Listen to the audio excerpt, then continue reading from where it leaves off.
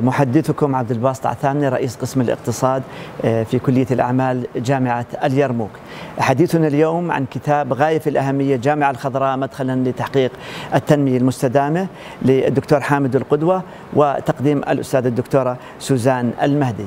هذا الكتاب من حيث المبدأ قد صمم في أوراقه وفي طباعته ليكون صديقا للبيئة. يأتي هذا الكتاب ضمن أهداف التنمية المستدامة السبعة عشر التي توافق عليها المجتمع الدولي في عام 2015 مما يزيد أهميته أن نتطرق في أربعة فصول وبوابق 332 صفحة إلى أمور مهمة إلى التأطير النظري للتنمية المستدامة ثم إلى التأطير النظري للبيئة الخضراء والاقتصاد الأخضر. الأخضر ومن ثم بناء علاقة توافقية ما بين التنمية المستدامة والبيئة الخضراء من جهة تحديات المدنية والتطور التكنولوجي وآثارها السلبية على البيئة وتطور المجتمع إلى الصناعات.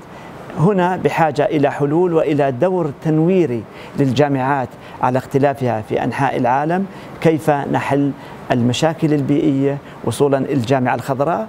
ذلك يأتي من خلال عدة يعني إجراءات في منهجين اثنين.